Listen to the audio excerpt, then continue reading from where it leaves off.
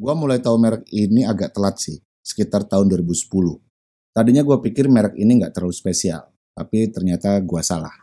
Merek ini punya cerita yang cukup panjang sejak tahun 1904 dan cukup banyak milestone-nya yang jadi kontribusi buat dunia horologi. Real Watches for Real People. Itulah slogannya.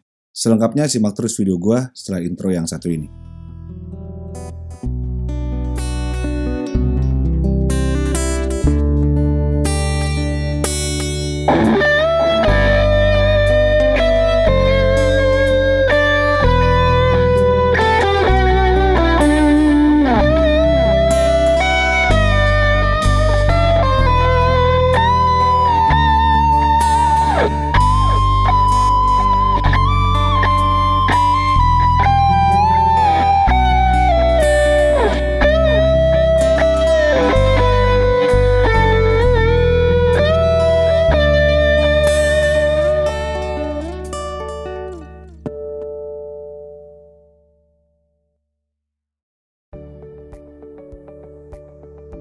Halo bro, selamat datang kembali di channel Horologi Story, satu channel yang sangat fokus ngebahas hal apa pun, sekecil apa pun yang ada di seputar dunia jam tangan atau horologi. Dan seperti biasa bareng sama gue Adrian, feel free buat subscribe kalau kalian adalah pecinta jam tangan atau watch enthusiast, atau sekalipun kalian yang baru masuk ke dunia horologi, biar nggak ketinggalan update terbaru dari channel ini. Oke, di depan gue udah ada tiga jam tangan dengan merek yang sama, yaitu merek Oris, Masing-masing mewakili perjalanan Oris dari sejak merek ini berdiri dan ternyata banyak banget cerita menarik dari merek yang satu ini. Jadi langsung aja gue bakal bawa kalian ke tahun 1904, tepatnya tanggal 1 Juni tahun 1904, seseorang bernama Paul Catin dan George Christian membeli sebuah pabrik jam tangan yang udah lama tutup, yaitu Lohner Co. Watch Factory, di sebuah kota di Swiss yaitu kota Holstein. Perusahaannya dikasih nama Oris ngambil dari nama sebuah lembah dan sungai kecil di kota Holstein. Dari sejak awal merek ini langsung berkembang dengan sangat baik, sehingga pada tahun 1906 sampai dengan 1910, Oris buka factory satu lagi yaitu di kota Holderbank pada tahun 1905 dan buka satu lagi di kota Como pada tahun 1908. Gak berhenti sampai di situ, terus berkembang sehingga pada periode tahun 1911 sampai dengan 1925 ini adalah masa keemasan Oris dengan ekspansinya. Di periode ini Oris sudah mempekerjakan 300 orang karyawan dan menjadikan perusahaan jam tangan terbesar di Holstein sampai bikin rumah-rumah dan apartemen sendiri buat para watchmakernya. Jadi totalnya Oris Factory sampai dengan era ini udah ada 5, yaitu di Holstein tahun 1904, Holder Bank tahun 1906, Como City Factory tahun 1908, Courtenay Factory tahun 1916, terus ada juga Horbert Wheel Factory tahun 1925, dan Ziven Factory juga pada tahun 1925. Setelah fokus ke produksi pocket watch, di tahun 1925 Oris mulai fokus ke produksi jam tangan. Dari mulai menambah bracelet buat pocket watch yang sudah ada, dan terus melakukan transformasi sampai benar-benar memproduksi jam tangan, bukan memodifikasi pocket watch. Berikutnya pada tahun 1927, co-foundernya yaitu George Christian meninggal dunia dan seseorang bernama Jacques David LeCourt jadi presiden of the board of director. David LeCourt adalah cucunya dari Antoine LeCourt yang bergabung dengan Edmond Zizer jadi merek Zizer LeCourt 10 tahun kemudian. Sejak tahun 1928 bisa dibilang ini adalah era generasi baru buat Oris. Oscar Herzog, saudara tirinya George Christian pun bergabung dengan Oris sebagai general manager selama 43 tahun. Berikutnya pada tahun 1934, tepatnya 12 Maret 1934, ambisi Oscar Herzog buat bikin high quality watches pun terhambat. Pada saat itu pemerintahan Swiss bikin aturan baru yang disebut dengan Watch Statute, regulasi yang mengatur perusahaan jam tangan untuk tidak menciptakan teknologi baru tanpa izin dari pemerintahan Swiss. Di saat itu Oris padahal udah bikin teknologi pin lever escapement sendiri yang dinilai katanya tidak akurat dibanding dengan kompetitornya yang udah lolos regulasi watch status tadi. Sehingga pada tahun 1938 setelah bikin factory yang khusus untuk memproduksi dial yang berlokasi di Bienne, Oris pun mempekerjakan orang-orang dengan skill tinggi buat bikin pin lever escapement yang lebih baik. Dan di tahun ini juga lah salah satu legenda jam tangan Oris lahir yaitu model Big Crown dengan pointer kalender, sebuah icon aviation dari Oris dengan crown yang besar, biar gampang dioperasiin para pilot walaupun pakai pilot gloves. Inilah model pertama yang mendunia dengan desain yang benar-benar eksklusif, beda dengan merek jam tangan lain yang menjadikan signature desainnya Oris.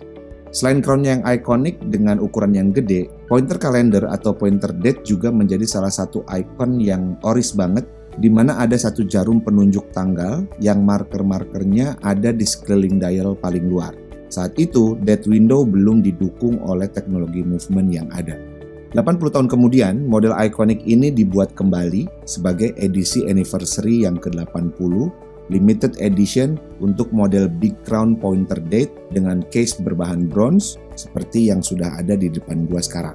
Sebelum gue lanjutin ceritanya, gue bakal review singkat dulu jam tangan yang sudah ada di depan gue, yaitu Oris Big Crown 80th Anniversary Limited Edition.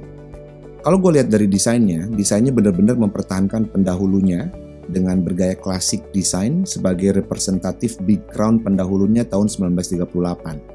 Yang beda adalah bagian bezelnya. Yang ini bezelnya bergerigi atau lazim disebut dengan flute bezel dan gua nilai ini pilihan yang sangat tepat, lebih kelihatan keren banget kalau menurut gua dan sangat distintif. Perpaduan dial military green dengan bronze case-nya juga kalau menurut gue sih cakep banget. Vintage looks banget, military watch banget, dan pilot watch banget dengan signature crown yang gede banget. Oke, sekarang fokus ke bagian dialnya. Satu yang bikin gue demen banget sama model ini adalah warna hijaunya. Kalem banget, nggak mencolok, dan dialnya bener-bener mempertahankan pendahulunya dengan Arabic numeral marker di bagian dalamnya. Semua diprint dengan sangat rapi, terus logo Orisnya juga tegas banget, dan di bagian bawahnya ada tulisan Big Crown Automatic, terus di bawahnya lagi ada tulisan Swiss Made. Terus ada minute tracker bergaya California yang juga diprint, dan di bagian dial paling luar ada marker tanggal dari angka 1 sampai dengan 31 yang ditunjuk sama jarum pointer khas yang ujungnya melebar berwarna merah. Itulah kenapa disebut dengan pointer kalender atau pointer day. Buat yang re-edition ini, Oris merubah hands-nya. Nggak lagi kayak yang pertama, sekarang bergaya cathedral hands. Dan jarum detiknya juga nggak lagi ditaruh di subdial, tapi menyatu dengan hands lainnya. Semua finishing detail di bagian dialnya gue nilai sangat rapi, gak ada masalah. Dan sekali lagi ini adalah re-edition yang mulai dibuat tahun 2017, dibuat dengan modern teknologi dengan tetap mempertahankan jiwa vintage-nya. Lanjut lagi, kristalnya berbahan dome sapphire crystal dengan finishing yang rapi dan setelah gua tes pakai diamond selector gua pun hasilnya bagus. Terus case-nya berbahan CWSN 8 bronze dengan kualitas yang solid dan finishingnya rapi banget. Yang ini udah patinated jadi kelihatan usang dan di sisi satunya ada crown dengan ukuran yang gede banget, bergerigi dan ini enak banget dipegangnya. Finishingnya rapi dan di permukaannya juga dikasih emboss logo Oris yang juga sangat rapi. Buat bagian casebacknya, model ini memilih exhibition atau display caseback dengan bahan stainless steel. Bagian terluarnya juga dibuat gerigi-gerigi atau flute kayak bezelnya. Screw down caseback dengan ciri khas yang oris banget dengan rotor berwarna merah. Bagian strapnya gue nggak akan review karena ini udah diganti pakai custom strap. Jadi langsung aja gue masuk ke movement. Oris menyebutnya adalah kaliber Oris 754 yang sebenarnya base movementnya adalah Selita SW200 running dengan 28.800 vibration per hour, 26 jewels, dan power reserve sampai dengan 38 jam. Water resistance yang didukungnya cuma 50 meter atau 5 bar. Bagian luminusnya pun nggak terlalu ditonjolkan karena ini bukan jam tangan diver. Oke, lanjut lagi diameter real jam tangan ini adalah 40 mm dengan ketebalan hampir 12 mm include kristalnya. Lalu untuk tulak tip-tulak tipnya adalah 48 mm dengan lebar loop 20 mm. Dimensi yang sangat sempurna buat hampir semua ukuran pergelangan tangan. Kalau dipakai di tangan gua jadinya kurang lebih kayak gini. Pas banget dan dipakainya pun nyaman banget. Oke? Gua rasa review singkat untuk Big Crown-nya udah cukup. Sekarang gue bakal lanjutin lagi cerita perjalanan Oris ke tahun 1940. Ini adalah era mulainya Perang Dunia Kedua. Saat dimulainya Perang Dunia Kedua, distribusi jam tangan Oris di seluruh Switzerland menurun sangat signifikan. Dan biar perusahaannya tetap survive, Oris akhirnya banting setir memilih untuk memproduksi alarm clock dan satu yang paling dikenal banget adalah 8 days alarm clock. Oke, lanjut lagi ke tahun 1945. Di tahun ini Oris mendapat penghargaan yaitu Awards for Accuracy oleh Bureau Official de Contrôle de la Marche de Montreux sebagai bukti teknologi pin lever yang udah didevelop dengan baik dan terbukti akurat. Lompat ke tahun 1952, Oris bikin jam tangan pertama bermovement otomatis dengan movement yang sangat akurat yaitu Oris Caliber 601 dengan indikator power reserve. Lanjut lagi tahun 1996, Akhirnya Oris lepas dari bayang-bayang watch statue berkat pengacara muda yaitu Dr. Ralph Portman yang sekarang menjadi honorary chairman merek Oris. Waktu itu dialah yang mengkampanyekan teknologi pin lever Oris yang akhirnya pada tahun 1966 berhasil lolos dan Oris pun menjadi merek yang punya tempat yang bagus di Swiss watch industry. Oke, berikutnya tahun 1965, Oris mulai masuk ke dive watch atau jam tangan diver. Dan di sinilah tahun kelahiran legenda Oris berikutnya, yaitu Oris Diver pertama dengan rotating bezel untuk model Oris Waterproof. 50 tahun kemudian, diabadikan dengan model Diver 65, seperti yang sekarang salah satunya udah ada di depan gua, yang sukses banget memikat pasar jam tangan dengan modelnya yang sangat klasik. Model Diver 65 ini dibuat dengan cukup banyak varian. Ada yang stainless steel, two-tone, bronze, strapnya leather, chronograph function, ukurannya juga berbeda-beda, ada yang 36 mm, 40 mm, dan 42 mm. Nah, yang di depan gua ini adalah yang klasik 42 mm dengan tagline Diving Back in Time, membawa soul iconic dive watch tahun 1965 dengan teknologi dan varian yang lebih modern. Sekarang gue coba review dulu sedikit. Yang dipertahankan adalah bentuk case-nya, desain bezelnya, crown-nya, dan yang paling ikonik banget yaitu bagian kristalnya yang cembung banget. Yang berubah adalah desain dialnya. Yang model barunya ini bergaya maxi marker, khas banget umumnya jam tangan diver, udah nggak pakai kombinasi stick dan numeral lagi kayak di versi pendahulunya.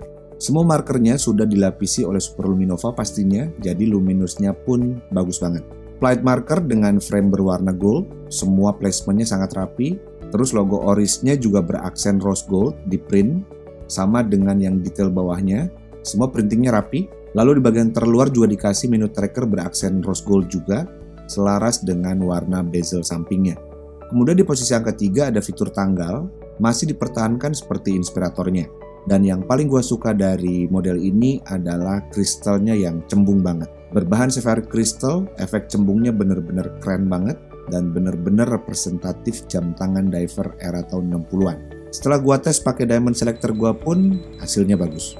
Lanjut lagi buat bagian bezelnya. Kalau menurut gua konstruksi bezelnya solid banget. Bergaya coin edge dan buat yang model ini bagian sampingnya dilapisi oleh rose gold. Finishingnya rapi dan nggak ada satu bagian pun yang berasa tajam. Selain itu juga berasa solid banget, nggak ada gap dan nggak ada bouncing. Sedangkan buat bezel insertnya tetap mempertahankan pendahulunya yaitu pakai bahan aluminium insert dengan marker 60 minutes yang di print berwarna silver. Semuanya rapi, nggak ada masalah. Bezelnya bisa diputer, 120 klik rotating bezel dengan aksen putar yang sangat solid dan nggak ada backplay sama sekali. Kalau buat bagian case gue nggak banyak komentar. Berbahan solid stainless steel didominasi dengan finishing brush dan di sisi satunya ada crown tanpa crown guard agak menonjol. Geriginya halus dan di permukaannya juga dikasih emboss logo Oris yang sangat rapi. Buat bagian casebacknya dibiarkan tertutup karena memang jam tangan ini adalah jam tangan diver dan di bagian casebacknya dikasih logo Oris yang lama yang di-engrave bersama dengan detail-detail lainnya. Semuanya rapi, kemudian movement yang dipakai untuk model ini mereka menyebutnya adalah kaliber Oris 733 yang sebenarnya base movementnya juga adalah Selita SW200 yang dimodifikasi. Running di frekuensi 28.800 vibration per hour, 26 jewel, power reserve sampai dengan 38 jam, dan mendukung water resistance 100 meter. Move lagi ke bagian bracelet, braceletnya bergaya oyster dengan finishing all brush, berbahan solid stainless steel. Braceletnya juga terasa solid banget, walaupun nggak terlalu tebal. Dan kalau kalian perhatiin, bentuknya meruncing ke bagian clasp dari 20 mm ke 16 mm. Ini khas banget jam tangan vintage dengan premium double push deployant clasp. Ada satu hal yang agak sedikit mengganggu kalau menurut gue di model yang satu ini, yaitu ujung lugnya ini nggak rata dengan lekukan bracelet. Jadi kelihatan menonjol seperti yang kalian lihat. Dan ini agak sedikit tajam. Kalau menurut gue sih sayang banget. Oke, yang gue pegang ini diameternya adalah 42 mm dengan ketebalan 13,5 mm include dome kristalnya dan lagtip to lagtipnya adalah 49 mm. Kalau dipakai di tangan gue jadinya kira-kira kayak gini. Agak sedikit kegedean, lebih pas kalau gue pakai yang diameternya 40 mm. Oke bro, gue rasa itu aja review untuk yang Diver 65. Sekarang gue mau lanjut lagi ceritanya, gue ajak kalian ke tahun 1967. Setelah lepas dari Watch Statue, Oris langsung bikin terobosan baru dengan bikin in-house movement yaitu kaliber Oris 652 yang mendapatkan Award Chronometer Certified, the highest distinction for accuracy. Tahun 1969 adalah puncak kejayaan merek Oris sebelum diterpa Quartz Crisis. Di tahun ini, Oris memproduksi 1,2 juta jam tangan dan berhasil mempekerjakan 800 orang tenaga kerja dan ini menjadikan Oris masuk ke 10 besar dalam industri jam tangan di Swiss. Berikutnya tahun 1970, Oris dibeli sama Swiss Holding Company yaitu ASU AG yang berikutnya merger sama SSIH menjadi Swatch Group. Di era itu, Oris mulai masuk ke dunia racing dengan memproduksi jam tangan chronograph. Tapi sayangnya waktu itu situasi di Swiss watch industry lagi terguncang karena masalah politik dan terutama serangan Quartz dari Jepang. Makanya ASUAG memutuskan untuk menutup Oris. Tapi untunglah Dr. Rolf Portman yang udah bekerja sebagai managing director sejak tahun 1956 menyelamatkan merek Oris dengan membeli perusahaan Oris. Dan anehnya, saat dilanda Quartz crisis, saat merek-merek lain mulai bikin quartz watches di Swiss, Portman malah ambil strategi yang bertolak belakang. Oris tetap dipertahankan dengan movement mekanik. Nggak ada satupun Oris yang bermovement quartz. Sejak saat itu sampai dengan sekarang, Oris tetap sebagai independent company. Saat merek-merek lain bergabung dalam naungan group of company yang gede-gede, dan strategi ini pun berhasil. Oris tetap hidup, tetap survive, dan terus membuat model-model jam tangan yang menghiasi pasar horologi sampai dengan sekarang. Tercatat di era tahun 1990 sampai dengan 2009, Oris banyak menciptakan landmarks dalam dunia horologi. Sebut aja Hymac, Oris London Jazz, lalu Pioneer World Timer tahun 1997, Vertical Crown, Rotation Safety System, dan lain-lain. Sejak tahun 2000, Oris mulai serius lagi masuk ke dunia sport 2001 ada Oris TT1 dan di tahun 2002 Oris juga mempatenkan ciri khasnya yaitu red rotor atau rotor berwarna merah dengan slogan High Quality Swiss Made Mechanical Watches with Real World Function at Accessible Price. Berikutnya tahun 2003, Oris menunjukkan keseriusannya masuk ke dunia sport dan racing dengan mulai masuk ke dunia Formula One, berpartner dengan tim William F1 yang salah satu modelnya diwakili sama jam tangan yang sudah ada di depan gua, keluaran tahun 2005. Langsung aja gua lihat jam tangannya, udah nggak diragukan lagi, nuansa racingnya kental banget, dialnya bermotif karbon, berfitur chronograph, dengan tachymeter bezel, khasnya jam tangan pembalap. Yang ini adalah limited edition dengan model reference 7577, dibuat cuma 1000 pieces, dan ini adalah yang lefty handed. Jadi crownnya ada di sebelah kiri, agak membingungkan karena tombolnya nggak dibalik. Jadi pusher start dan stopnya itu adalah yang bawah, sedangkan resetnya itu pakai pusher yang atas. Kebalikan dari chronograph yang biasanya.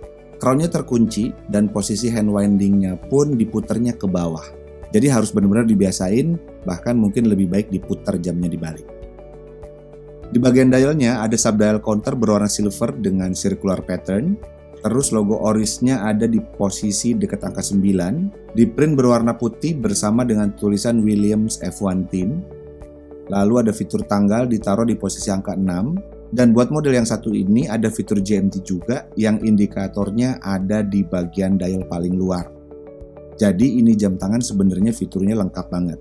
Cocok banget sebagai jam tangan Williams F1 Team.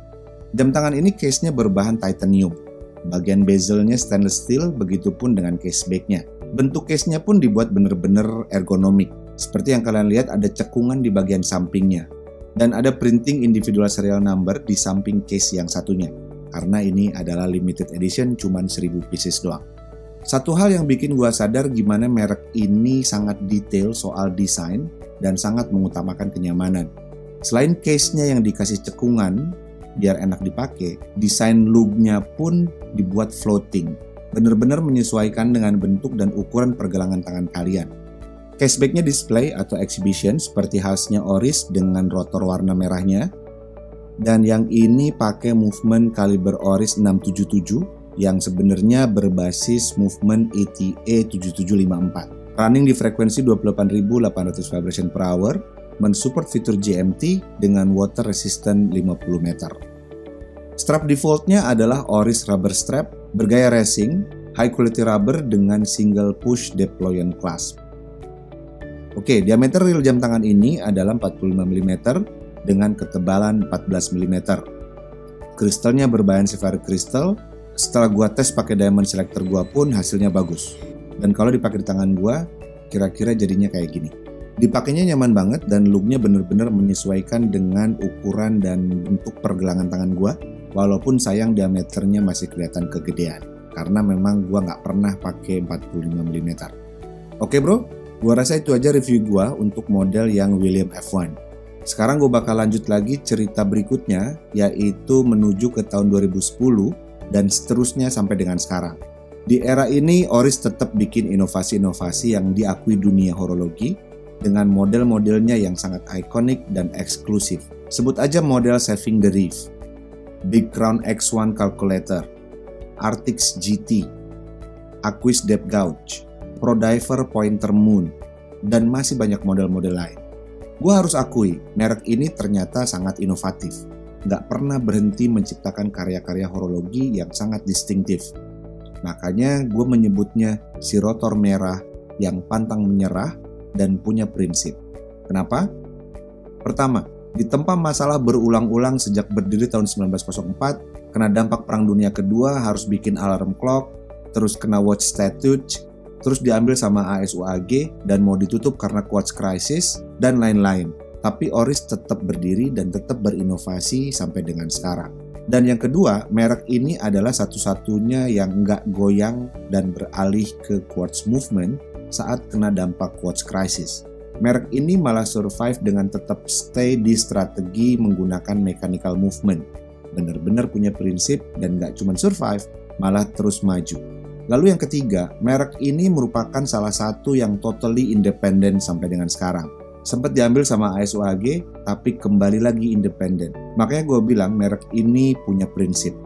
Dan terakhir yang keempat, merek ini tetap menyajikan kualitas yang gue bisa bilang selevel dengan merek-merek besar kayak Tag Heuer, atau long jeans dengan harga yang lebih terjangkau. Jadi sesuai banget dengan slogannya Real Watches for Real People. Oke bro, gua rasa itu aja cerita panjang gua hari ini. Semoga bermanfaat buat kalian. Gua nggak bikin video yang terpisah satu persatu karena masih banyak video yang harus gua tayangin. Jadi ketiga jam tangan ini gua langsung bawa semua dalam satu video dan masing-masing model ini mewakili perjalanan cerita merek yang satu ini. Oke, okay, special thanks buat yang udah support video ini. Ada Bro Eka dengan Oris Big Crown-nya, ada Bro Robi dengan Diver 65-nya, dan Bro Ari Lasso yang udah minjemin Williams F1-nya, sekalian gua repair juga, dan ini udah kelar. Gua akhiri video gua, feel free buat subscribe kalau kalian adalah pecinta jam tangan, biar nggak ketinggalan update terbaru dari channel gua.